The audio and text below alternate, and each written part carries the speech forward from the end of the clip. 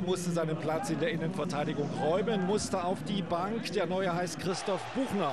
Hat 2009 hier mal für Burghausen gekickt. Sein erstes Pflichtspiel für die Himmelblauen. Schädlich hatte erst Silvio Bankert vorgesehen, doch der hat sich beim Abschlusstraining verletzt. Es ist nicht die einzige Veränderung. Schauen wir auf die Besetzung des CFC.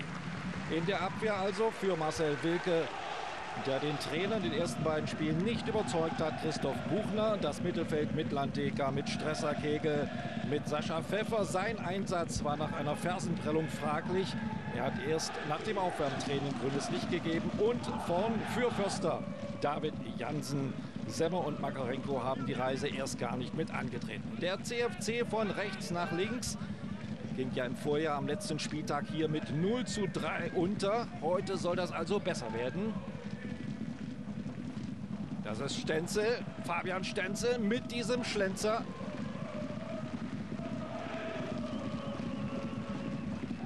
Gerd Schädlich, wir müssen zwingender nach vorn spielen. Unsere Chancenverwertung muss ganz einfach besser werden.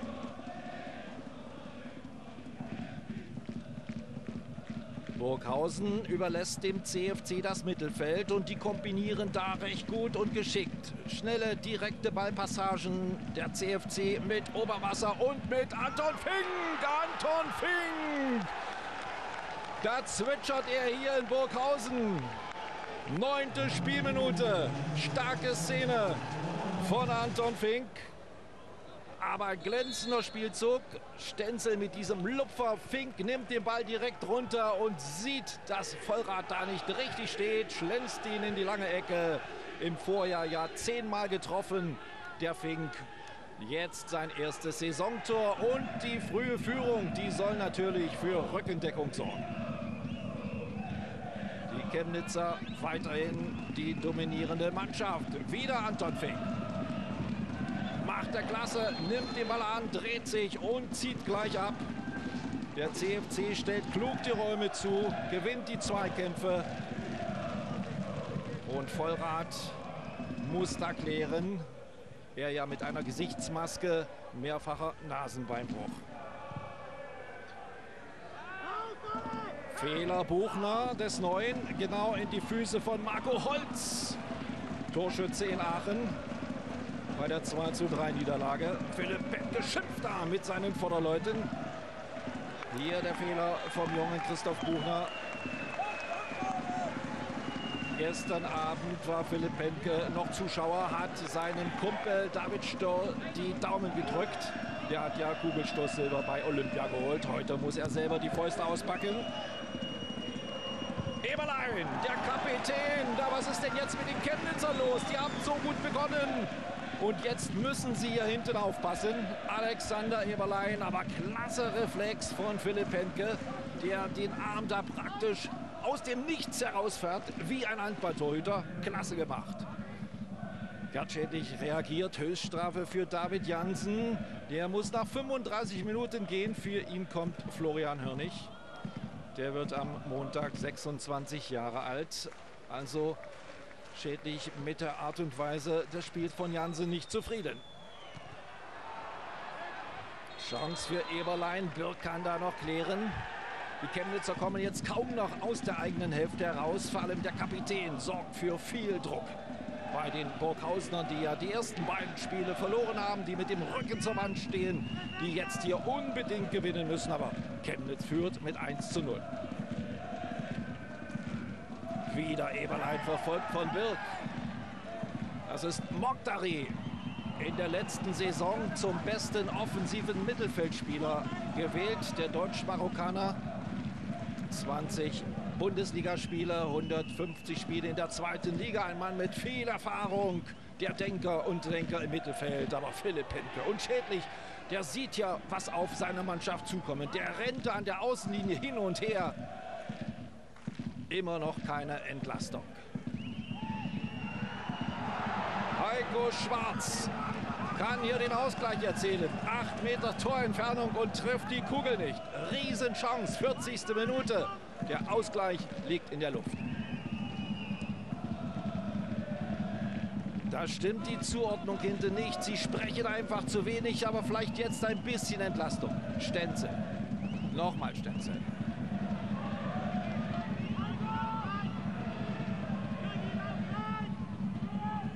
Pfeffer.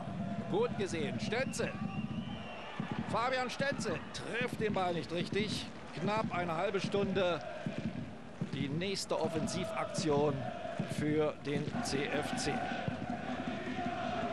2600 Zuschauer, darunter etwa 200 mitgereiste Chemnitzer Fans. Die sind ja guter Dinge. Ihre Mannschaft führt mit 1 zu 0. Aber Burghausen kommt schon wieder. Sie bringen einfach keine Ordnung in die Reihen. Das ist Alexander Aschauer.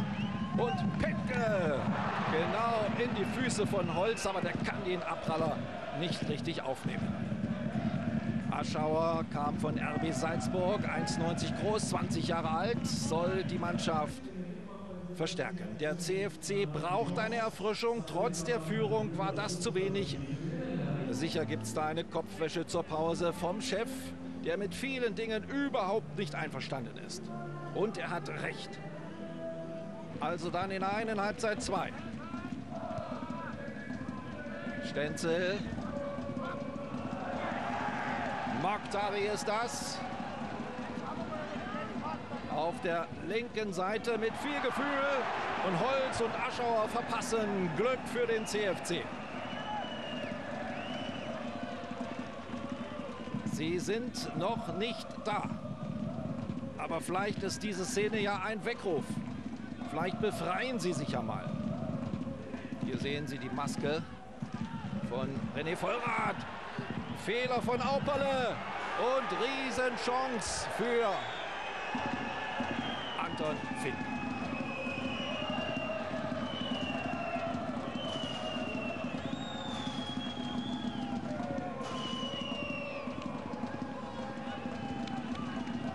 Nicht richtig an den Ball und Sinar klärt da.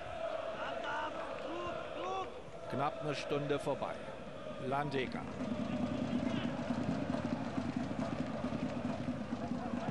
Das ist Sascha Pfeffer. Spitzer Winkel, schwer zu machen, aber gute Aktion endlich mal wieder des CFC.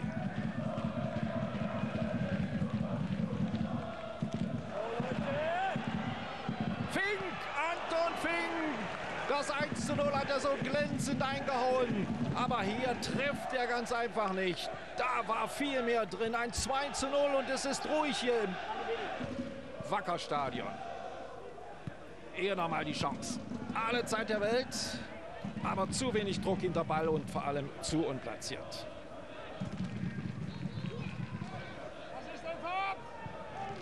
Immer wieder ruft Gerd Schädlich in das Spiel hinein. Fordert seine Leute auf, energischer zum Gegner zu gehen. Das war Heiko Schwarz und Penke muss da wieder Kopf und Kragen riskieren. Starke Leistung bislang von Philipp Pentke. Auch hier riecht er, dass sein Mitspieler nicht mehr an den Ball kommt. Verkürzt den Winkel und rettet mit dem Kopf. Ja, er kann nicht zufrieden sein. Georgi Donkov, der Trainer von Burghausen, war ja jahrelang hier der Co. Hinter Basler, hinter Bommer, hinter Stumpf. Jetzt ist er selbst der Chef. Senesi im Spiel. Der mit der Rückennummer 7 auf Moritz Moser. Immer noch Moser. Birk geht hin, Birk geht hin, aber wie geht der denn hin? Völlig ungeschickt. Strafstoß. Martin Thomsen bleibt gar nichts anderes übrig, als auf den Punkt zu zeigen. Wie kann man denn in dieser Situation so in den Gegner hineingehen? Hätte er ihn einfach laufen lassen. 11 Meter, 70. Spielminute nach dieser Dummheit von Thomas Birk. Mokhtari gegen Penke. Das lässt er sich nicht entgehen. Der Mittelfeldspieler. Erstes Heimtor für Burghausen. Der Ausgleich zum 1 zu 1. Gespielt 70 Minuten.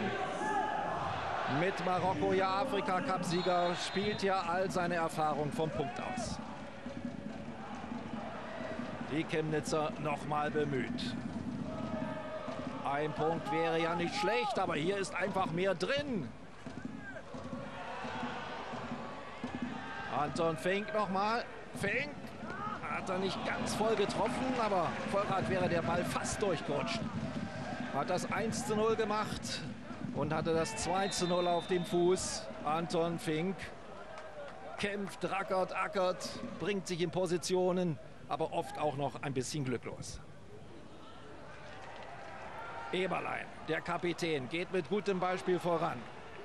Das ist Thiel, einfach aus der Drehung vorgeschlagen auf Mokhtari. Mokhtari und Senesi und dann ist das die 2 zu 1 Führung für Wacker Burghausen. 83 Minuten gespielt. Sie drehen das Spiel nach dem 0 zu 1 Rückstand. Ausgleich durch den Elfmeter von Mokhtari. Und jetzt diese Szene hier. Die CFC-Abwehr aufgerückt. Konter im eigenen Haus zum 2 zu 1 für Wacker Burghausen. Gerd Schädlich versteht die Fußballwelt nicht mehr. Hier war viel mehr drin. Aber was geht in dieser Schlussphase noch? Der CFC wirft jetzt alles nach vorn, aber viele Aktionen sind ungeordnet. Planloser Ball nach vorn mit ein bisschen Glück. Kevin Freiberger ist das. Kevin Freiberger und Pentke. Das war die Szene in der Nachspielzeit. Denn jetzt ist Schluss. So wird es nicht, CFC. Hier war mehr drin. Nach dem Führungstor haben die Himmelblauen die Arbeit eingestellt. Das ist wie immer vor allem Kopfsache. Guido Solus auf Erklärungssuche. Philipp Pentke, ich weiß nicht, wie man es beschreiben soll. Man geht hier 1 zu 0 in Führung, spielt 20 Minuten eigentlich wacker an die Wand. Jeder wartet darauf, dass das zweite fällt und dann passiert was, was ich nicht erklären kann. Erklären Sie es. Ja, ähm, dafür habe ich leider auch noch keine Erklärung. Ähm, bei uns hat es in der Halbzeit ein bisschen geknallt, weil wir einfach auch nicht zufrieden waren, ähm, wenn wir halt 1 hier in Führung gehen, bei einer Mannschaft, die eigentlich relativ vorsichtig ist. Ähm, uns dann einfach so nur das Spiel aus den Händen gleiten lassen. Ähm, das war nicht unser Plan und deswegen ähm, müssen wir uns alle heute ein bisschen hinterfragen, was wir hier auf dem grünen Rasen gebracht haben. Ich denke auch, dass der Kopf ein bisschen äh, mitspielt, weil wie gesagt, ich habe zwei, hundertprozentige Chancen, davon muss ich einen machen und ähm, kann es mir auch nicht erklären, warum ich nicht das zweite mache. Normal mache ich das zweite und, ja, und ähm, so tut es mir viel leid für die Mannschaft, dass wir das Spiel dann noch verlieren. Ich denke, dass sich einige überschätzen. Und äh, das sieht man in vielen Situationen, dass man nicht mit der Konsequenz äh, Fußball spielt, egal ob das eine defensive oder offensive Aktion ist. Und wir müssen schnellstens die Kurve bekommen. Äh, das, so wie wir uns jetzt aktuell präsentieren, auch heute, so geht es nicht. So hat man keine Chance, in der dritten Liga zu bestehen.